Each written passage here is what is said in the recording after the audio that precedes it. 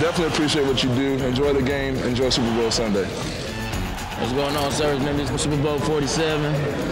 And uh, make sure you stay tuned.